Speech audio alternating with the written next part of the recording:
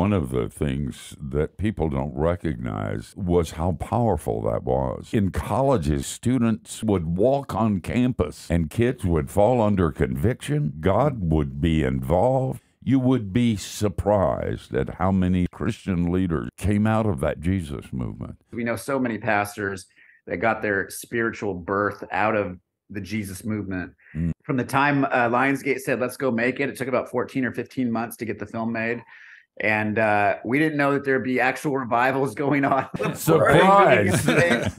you can't write this stuff. You know, there may be a God. See, I haven't heard of anybody wondering if we, you know, help coordinate, but I can assure you, we had absolutely nothing to do with it. It's it's incredible that the timing of the release coincides uh, with these revivals that are taking place across college campuses. That was the hope. That was the prayer that God would use the film to bring people closer to Him in a way that was beyond anything we could imagine.